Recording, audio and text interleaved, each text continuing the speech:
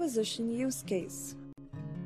According to the Institute of Mergers, Acquisitions and Alliances, the global value of mergers and acquisitions deals amounted to 3.7 trillion US dollars in 2019. There have been many prominent mergers and acquisitions throughout history. We have Walt Disney and Pixar, Google and Android, Exxon and Mobil, Verizon and Vodafone, and Heinz and Kraft Foods, to name a few. There are many different reasons why companies pursue mergers and acquisitions, such as asset or technology acquisition. To put it in simple words, they happen because one company that has the economic muscle to invest decides on acquiring another company with a competitive edge to lead the market. And together, they have better resources and chances of growth in the industry. This is Paul, he works as a sales manager in a telecom company called WorldCom. They have recently acquired another telecommunication company called Telecom. After the deal, both the companies are strategically settling down into this change. Paul's director has asked him to coordinate with the sales manager of Telecom and work on creating a new consolidated customer repository for the company. He must present a detailed analysis of the customer profiles that the company has obtained from Telecom after the acquisition and identify unique as well as common customers between both the companies. After communications with the sales manager at Telecom, Paul finds out that the customer data from Telecom might not be updated and the records may have some missing information. So, Paul needs to put out a great strategy that integrates all the data that he is working with, along with transforming the data as required.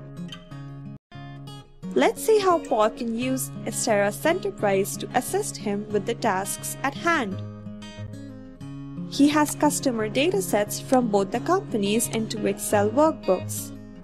Paul retrieves this data using two Excel source objects in Astera Centerprise.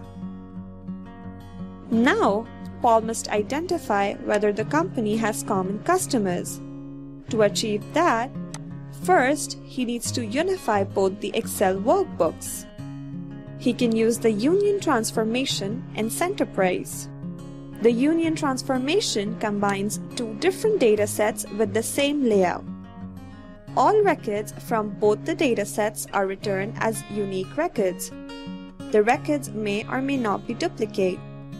In this case, the output for the union shows duplicate records, which indicate the common customers between both the companies.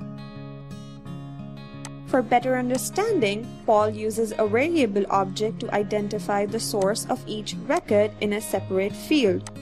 For this, Paul creates a new field named source in the union object's layout and maps the corresponding values from the variable object to the source field in each dataset. Now when we preview the output, it returns the respective company name for each record in the source field.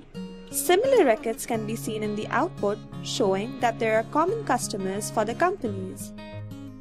With this, Paul has combined the data from two different Excel workbooks, creating a single unified view using the union transformation.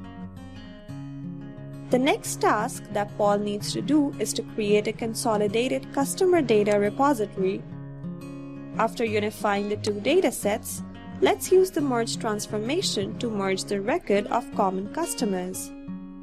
The merge transformation combines multiple records for a customer coming in from various sources based on a primary key and presents them into a consolidated record with complete information. Once we have merged the records, we have a complete and consolidated dataset of distinct customer records. The final step is to load this data into WorldCom's central database. To achieve that, we'll use the inbuilt database destination object in Centerprise and run the data flow so that the data is populated into the database. We now have a consolidated customer database ready for Paul to present to his director. Corporations use various ETL tools in their daily business operations mainly to retrieve, transform, and load the incoming data to the specified destinations. Paul used Astera Centerprise to help him accomplish a similar task. Consolidated data enables companies to plan, implement, and execute business processes efficiently. With fewer processes involved in data retrieval, it gives better control and ensures faster planning and improved performance.